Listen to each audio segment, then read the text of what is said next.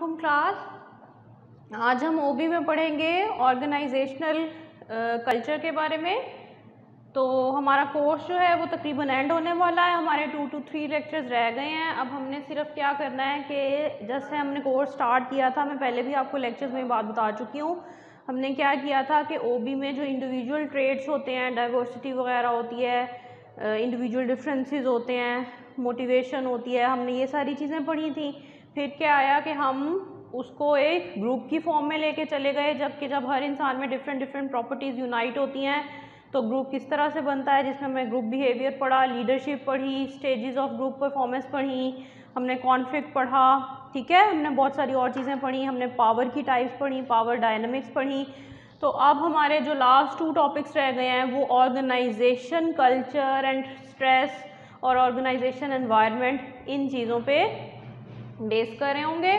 तो आज के जिस लेक्चर में हम जो स्टडी करेंगे वो हमारे पास होगा organisational culture basically organisational culture हम किसको कहते हैं कि किसी भी ऑर्गेनाइजेशन में जब कुछ एम्प्लॉयज़ वर्क करते हैं तो ऑब्वियसली हर ऑर्गेनाइजेशन का, हर वर्क एनवायरनमेंट का कोई ना कोई एक स्पेसिफिक एनवायरनमेंट होता है, एक स्पेसिफिक डायनामिक्स होती हैं जिसमें सब पर्सन जो हैं वो मिलके काम कर रहे होते हैं। तो इसको हम ऑर्गेनाइजेशनल कल्चर का जो है वो नाम देते हैं। ठीक है? तो कल्चर बेसिकली क्या हो गया ऑर्गेनाइजेशन में? हमें क्या पता चला इससे कि जब डिफरेंट जो पीपल होते हैं, जब वो एक एनवायरनमेंट बनाते हैं तो इसका मतलब है कि वो ऑर्गेनाइजेशन का कल्चर बन गया। तो आज के हम लेक्चर में जो है वो स्टडी करेंगे ऑर्गेनाइजेशन कल्चर को एक डिटेल में। हम स्टार्ट करेंगे ऑर्गेनाइजेशनल कल्चर की डेफिनेशन से। डेफिनेशन में हम उसके कुछ ट्रेड्स या फिर प्रॉपर्टीज़ को जो है वो स्टडी करेंगे। सबसे पहले हम देखते हैं कि ऑर्गेनाइजेशनल कल्चर की डेफिनेशन हमारे पास क्या होती है। ठीक है जी? ऑर्गेनाइजेशनल कल्चर की जब हम बात करते हैं तो एक मेन चीज़ जो बहुत ज़्यादा इंपॉर्टेंट होती है नंबर वन पे हमारे पास होती है अडेप्टेबिलिटी ठीक है जी? This is number one adaptability means कि कौन सा वर्कर जो है, वो कितना ज़्यादा एडेप्टिव है किस तरह की सिचुएशन के लिए? यानी दो जो वर्कर्स हैं, दो एम्प्लॉयज़ हैं, वो वर्क कर रहे हैं तो वो एनवायरनमेंट से कितने ज़्यादा मानूस हुए हुए हैं, कितने ज़्यादा उन्होंने उस सिचुएशन में अडेप्ट किया हुआ है, कितने ज़्यादा वो वेल सेटल्ड हैं उस सिचुएशन में। इसका मतलब है कि उनमें एडेप्टेबिलिटी है। डिटेल, ओरिएंटेशन ओरिएंटेशन मीन्स के कौन सा बंदा किस तरह का वर्क जो है वो करना चाह रहा है। बाज़ लोग जो हैं वो करियर ओरिएंटेड होते हैं, बाज़ लोग रिलेशनशिप ओरिएंटेड होते हैं, बाज़ फैमिली ओरिएंटेड होते हैं। तो जब हम ओबी में ओरिएंटेशन की बात करेंगे तो कुछ ऐसे लोग होंगे जो ग्रुप ओरिएंटेड होंगे, जो ग्रुप वर्क को प्रमोट करते होंगे। उनका दिल करता होगा कि वो एक ग्रुप की फॉर्म में काम करें। कुछ ऐसे लोग होंगे कि उनका दिल करता होगा कि हमें इंडिविजुअल प्रोजेक्ट्स जो हैं वो दिए जाएँ, हम उन पे काम करें। ठीक है? तो ये ओरिएंटेशन हो गई। ओरिएंटेशन के बाद क्या है? हमारे पास ओरिएंटेशन की ही आगे टाइप्स हैं। रिज़ल्ट आउटकम ओरिएंटेशन दूसरी ओरिएंटेशन हमारे पास है पीपल कस्टमर ठीक है जी? फिर ओरिएंटेशन हमारे पास है collaboration team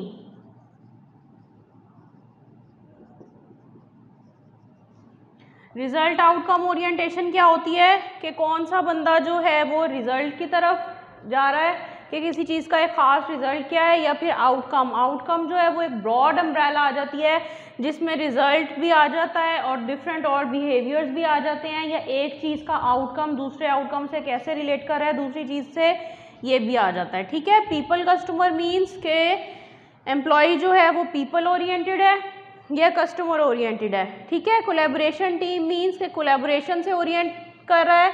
ओरिएंटेशन उसकी कोलेबोरेशन वाइज जा रही है या फिर टीम की तरफ़ जा रही है? तो ये हमारे पास ओरिएंटेशन की डिटेल है। फिर हम देखते हैं इंटेग्रिटी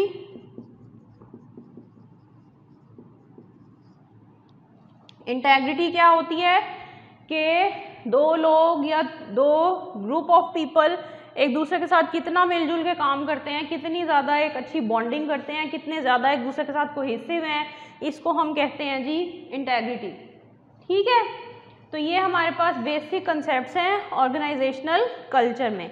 इससे हमें क्या समझ आती है कि ऑर्गेनाइजेशनल कल्चर जो बेसिकली वो क्या है? It is a system of shared meaning held by an organisation members that distinguish the organisation from others ये बेसिकली हमारे पास वो ट्रेट है, वो खसूसियत है, वो एबिलिटी है जो किसी भी एक ऑर्गेनाइजेशन को दूसरी ऑर्गेनाइजेशन से डिफ़र करती है।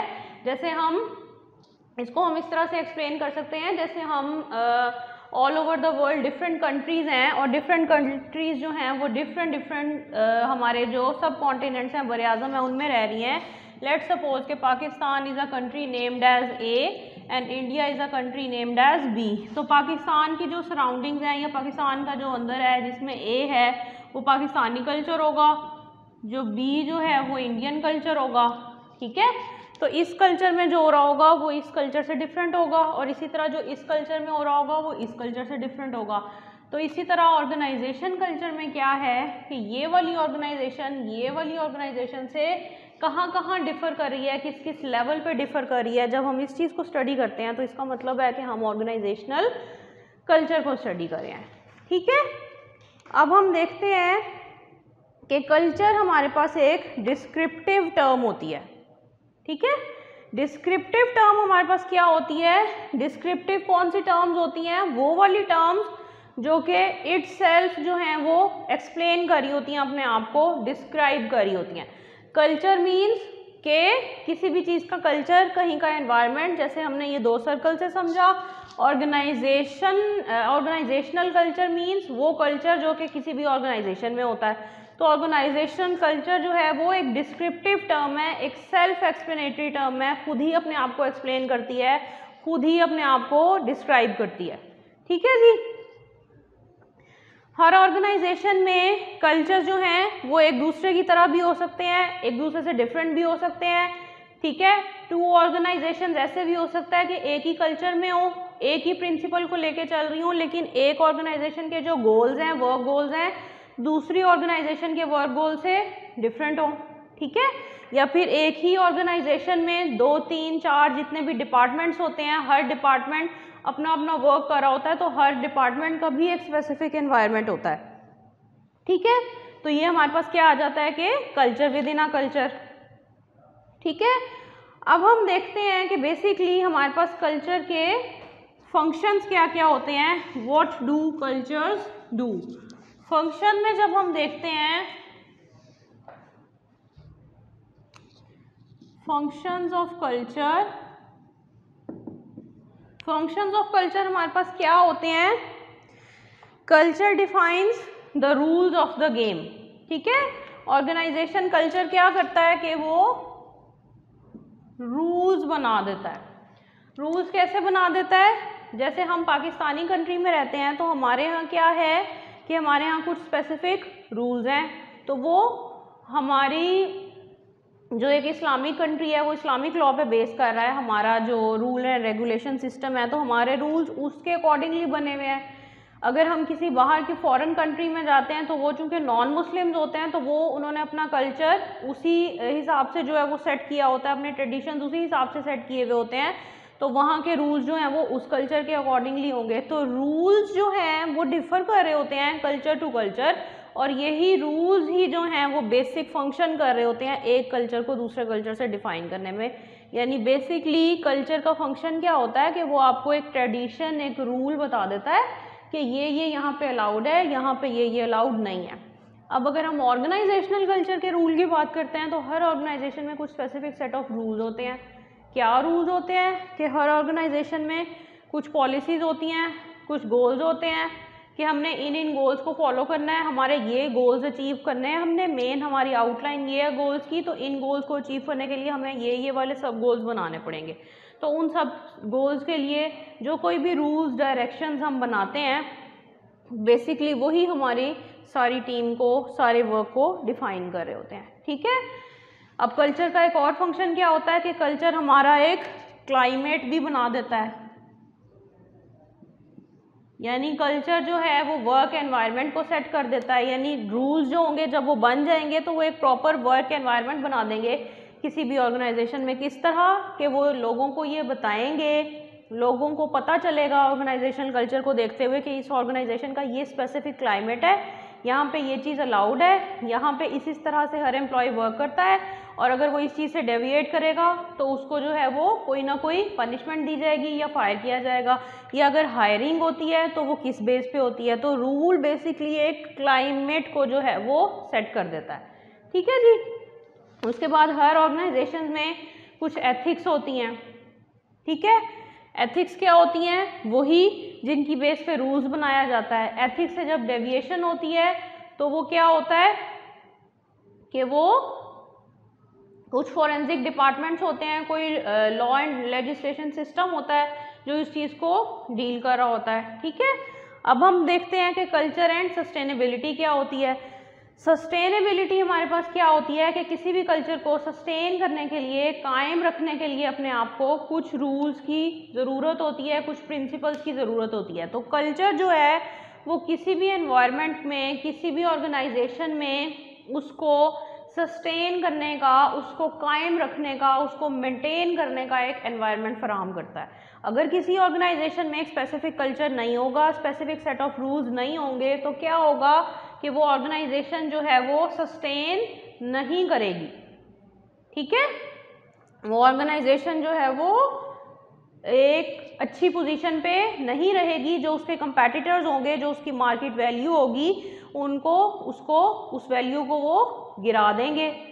और लोगों का एक जो जनरल जो पब्लिक का जो एक माइंडसेट है वो उस ऑर्गेनाइजेशन के बारे में ये बन जाएगा जनरल पब्लिक का कि ये ऑर्गेनाइजेशन तो अच्छे से वर्क नहीं करती, ये तो सस्टेन नहीं करती।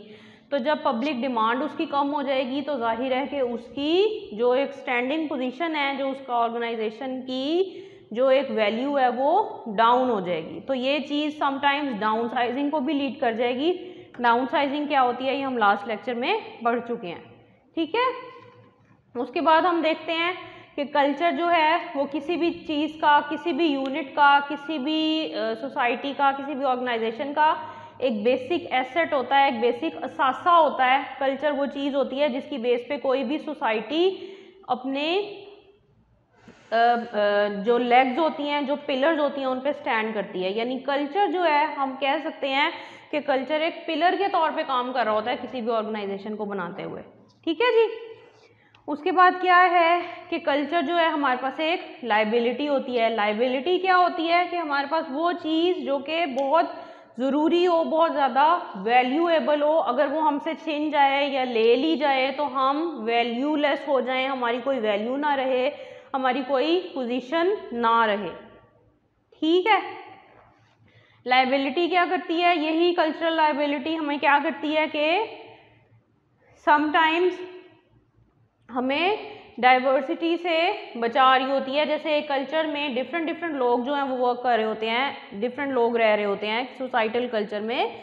इसी तरह ऑर्गेनाइजेशनल कल्चर में भी जो लोग होते हैं, जो एक वर्क टीम होती है, हर कोई डिफरेंट बैकग्राउंड से बिलोंग कर रहा होता है। तो जब वो डिफरेंट बैकग्राउंड से लोग बिलोंग करते हुए एक ही एनवायरनमेंट में काम करते हैं तो समटाइम्स उनमें कुछ डिसएग्रीमेंट्स भी आती हैं।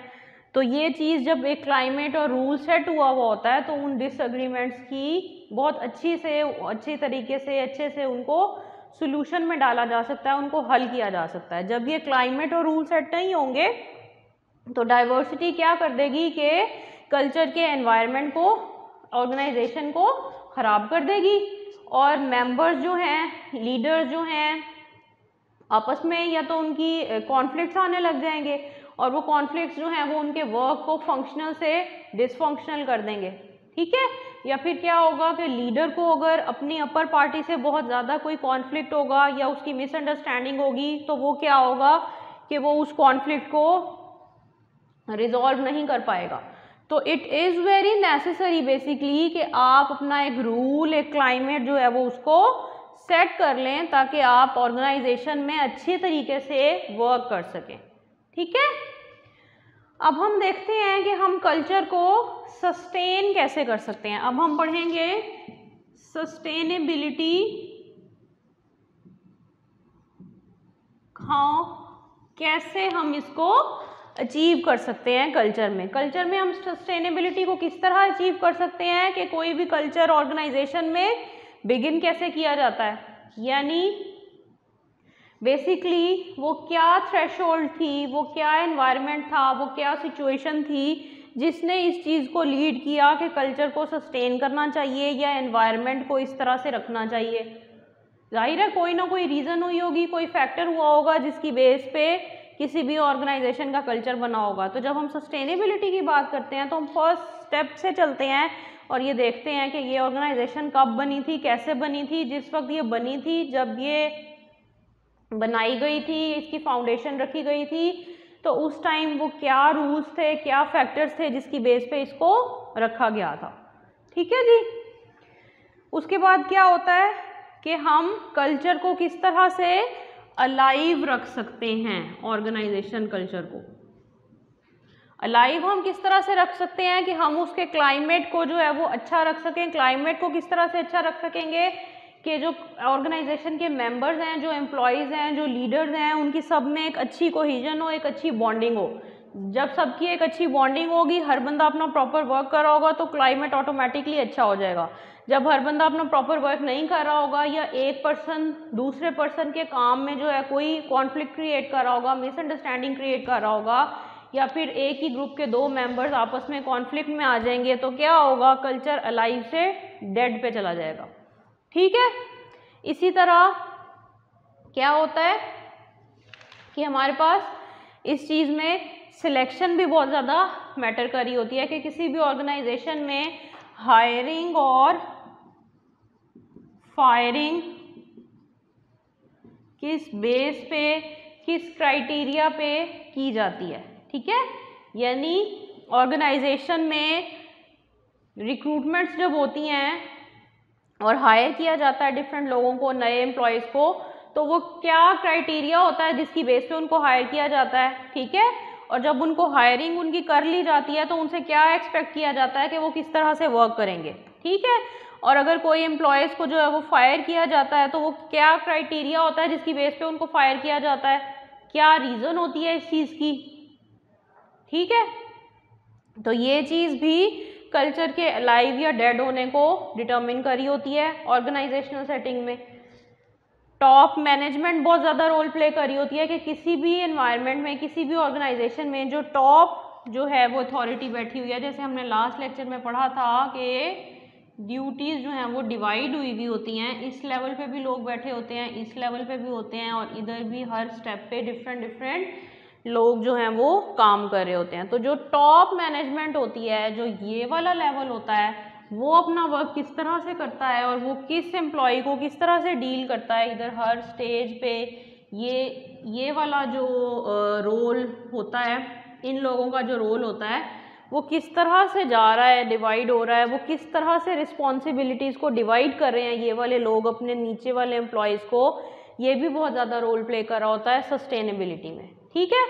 अगर यहाँ पे टॉप मैनेजमेंट जो है, किसी एक ग्रुप मेंबर को या किसी एक ऑर्गेनाइजेशन के मेंबर को ज़्यादा फेवर देगी और दूसरे को कम देगी तो क्या होगा कि मेंबर्स का एक दूसरे के साथ जो है वो कॉन्फ्लिक्ट और टसल क्रिएट हो जाएगी। तो वो चीज़ क्या करेगी कि एनवायरनमेंट को ख़राब कर देगी अलाइव से डेड कर देगी सिचुएशन को कल्चर को।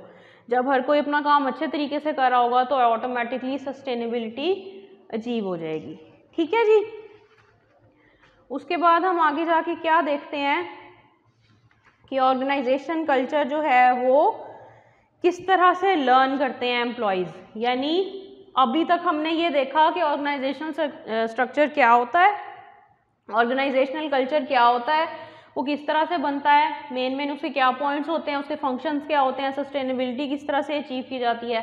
अब हम देखेंगे कि ऑर्गेनाइजेशन कल्चर में जो एम्प्लॉयज़ होते हैं किसी भी ऑर्गेनाइजेशन में वो किस तरह से उसके कल्चर को समझते हैं? किसी भी ऑर्गेनाइजेशन का कोई एम्प्लॉय ले लें आप, या किसी भी वर्क एनवायरनमेंट का एम्प्लॉय जो है, वो अपने वर्क एनवायरनमेंट को, अपने कल्चर को, अपने, जहाँ पे वो वर्क कर रहा होता है, उसको वो किस तरह से समझता है? अब हम ये देखते हैं। ठीक है? इसमें हम दो तीन पॉइंट्स पढ़ेंगे और फिर हम अपने उनको आपस में एक दूसरे से रिलेट करेंगे और फिर हम क्या करेंगे कि हम अपने लेक्चर को टर्मिनेट कर देंगे और उसके साथ ही हमारा ये टॉपिक भी क्लोज हो जाएगा। हाउ एम्प्लॉयज़ लर्न कल्चर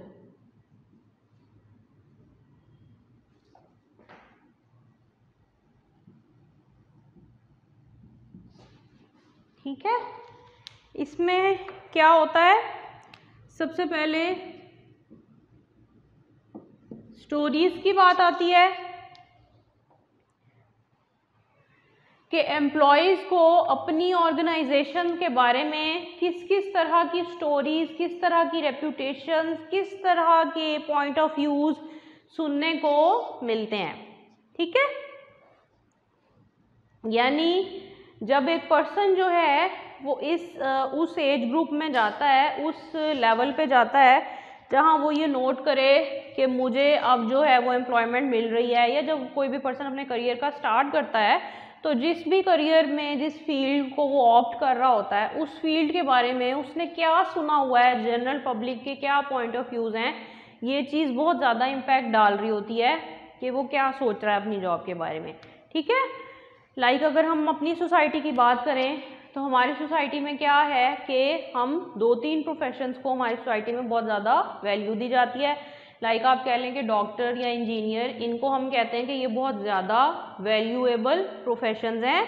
ये लोग बहुत ज़्यादा स्टडी करते हैं, ये लोग बहुत ज़्यादा जो हैं वो टफ इनकी रूटीन होती है और ये बहुत हाईली अचीव करते हैं और इनको बहुत ज़्यादा रिस्पेक्टेबल प्रोफेशन समझा जाता है। तो जब एक पर्सन एक एम करके एक यंग डॉक्टर अपनी फ़ील्ड में काम करने लगता है तो जो जो भी सोसाइटी उस टाइम तक उसके माइंड में जो जो भी डाल रही होती है, उसने जो भी सुना होता है, वो इस चीज़ को बहुत ज़्यादा इफ़ेक्ट कर रहा होता है कि वो किस तरह का डॉक्टर बनेगा जब वो प्रैक्टिस में जाएगा।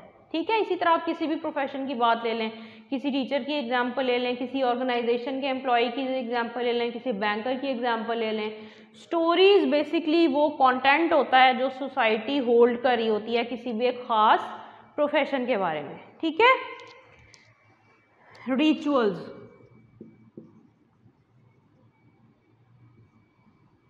रिचुअल्स क्या होता है? ये हमारी वो ट्रेडिशंस होती हैं, वो सेट ऑफ़ वैल्यूज़ होती हैं, जो हमारे माइंड में किसी भी चीज़ का कंसेप्ट बना रही होती हैं, ठीक है? हर सोसाइटी में कुछ रिचुअल्स होती हैं और इसी तरह हर ऑर्गेनाइजेशन में भी कुछ रिचुअल्स होती हैं। तो ये रिचुअल्स भी लीड कर रही होती हैं एम्प्लॉयज़ के बिहेवियर के साथ। ठीक है जी? अब हम देखते हैं कि एथिकल कल्चर जो है वो किस तरह से बनाया जाता है।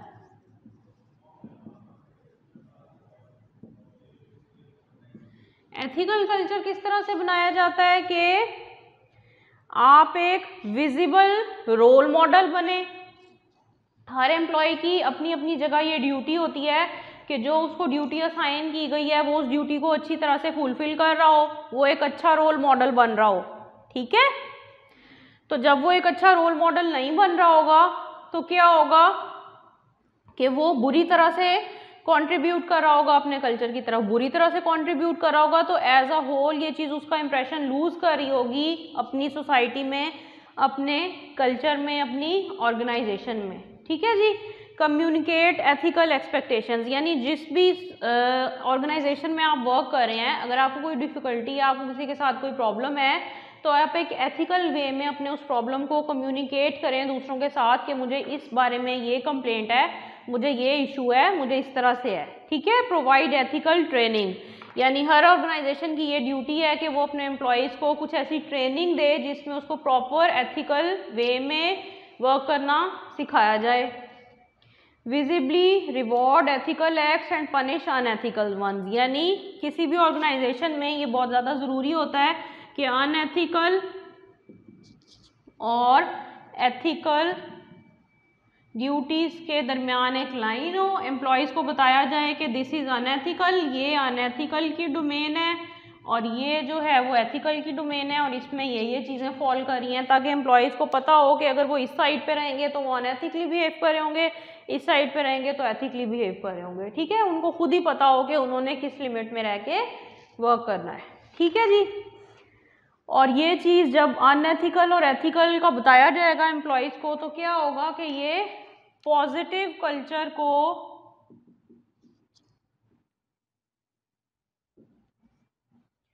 बनाने में ब्रीड करने में हेल्प करेगी एम्प्लॉयज़ को। ठीक है जी? पॉजिटिव कल्चर किस तरह से होगा? कि हर एम्प्लॉय जो है वो अपनी अपनी ड्यूटी परफॉर्म कर रहा है। जैसे हमने अभी लास्ट पॉइंट में एक पिरामिड बनाया था तो पॉजिटिव कल्चर को इस कंसेप्ट में हम कैसे पढ़े पढ़ेंगे कि हर लेवल पे हर पर्सन जो है वो अपना काम ऑनेस्टली कर रहा है। टॉप मैनेजमेंट जो है वो अपना काम कर रही है मिडल के जो लोग हैं वो अपना काम कर रहे हैं, जो निचले लेवल के लोग हैं वो अपना काम कर रहे हैं। तो क्या होगा कि हर बंदा जब अपनी ड्यूटी को अच्छे तरीके से परफॉर्म कर होगा तो ऑटोमेटिकली एक पॉजिटिविटी की सिचुएशन जो है वो मेंटेन हो जाएगी और सस्टेनेबिलिटी अचीव हो जाएगी एथिकल एनवायरनमेंट जो है वो बन जाएगा। ठीक है जी? और एक और कंसेप्ट क्या होता है कि एम्प्लॉयज़ को रिवॉर्ड ज़्यादा किया जाए रादर देन पनिशमेंट से। पनिशमेंट जो होती है, वो क्या करती है कि आपकी साइकी को डैमेज करती है और आप में थोड़ी सी रिबेलियसनेस को भी क्रिएट कर देती है। तो क्या होना चाहिए कि रिवॉर्ड सिस्टम जो है, वो ज़्यादा अपर पोजीशन पे रखना चाहिए रादर देन पनिशमेंट जब आपके रिवॉर्ड सिस्टम्स अच्छे होंगे एम्प्लॉयज़ के लिए तो ऑटोमेटिकली वो अनएथिकल डोमेन में काम करना बंद कर देंगे या किसी हद तक इस चीज़ पे कंट्रोल हो सकेगा अच्छी तरह से। ठीक है? जब आप पनिशमेंट पनिशमेंट और रिवॉर्ड में एक बैलेंस नहीं रखेंगे तो क्या होगा कि एथिकल और अनएथिकल में भी बैलेंस नहीं रखा जा सकेगा। ठीक है जी? और क्या होगा कि आप अपने एम्प्लॉयमेंट की ग्रोथ को जो है वो प्रोमोट करें। आप अपने जो आपने एम्प्लॉयज़ रखे हुए हैं, आप उनको प्रॉपर टाइम टू टाइम उनको आप इंसेंटिव देते रहें, आप उनको प्रॉपरली प्रोमोट करते रहें अपर पोजीशंस पे तो इससे भी चांस बहुत ज़्यादा कम हो जाएगा कि वो आपकी ऑर्गेनाइजेशन को छोड़ के जाएँ लीव करें, या दो एम्प्लॉयज़ के बीच में कोई टसल हो, या एम्प्लॉय अपना वर्क जो है वो सही तरीके से ना करे। ठीक है? कहीं ना कहीं वाइटैलिटी और ग्रोथ का कंसेप्ट भी रिवॉर्ड सिस्टम से ही लीड कर रहा है। जब अपने, आप अपने एम्प्लॉयज़ को अच्छी तरह से रिवॉर्ड करेंगे तो इसका मतलब है कि ऑटोमेटिकली आप उनकी ग्रोथ की तरफ़ उनको बढ़ा रहे हैं, उनकी ग्रोथ को प्रमोट कर रहे हैं। यहाँ पे जो हम ग्रोथ की बात कर रहे हैं कीप इट इन माइंड कि ये वाली जो ग्रोथ है, ये फ़िज़िकल ग्रोथ नहीं है, ये हमारी एक साइकोलॉजिकल ग्रोथ की बात हो रही है कि जब इंसान को ये, इंसान ये देखता है कि उसको प्रेज किया जा रहा है या उसको अपने एनवायरनमेंट से एक्सेप्टेंस मिल रही है तो नेचुरली ये ह्यूमन टेंडेंसी है कि इंसान अच्छा वर्क करता है। तो जब आप अपने एम्प्लॉयज़ को अच्छे तरीके से रिवॉर्ड करेंगे तो उनमें अच्छी ग्रोथ होगी अच्छा एनवायरनमेंट जो है वो बन जाएगा आपके काम के लिए। ठीक है जी?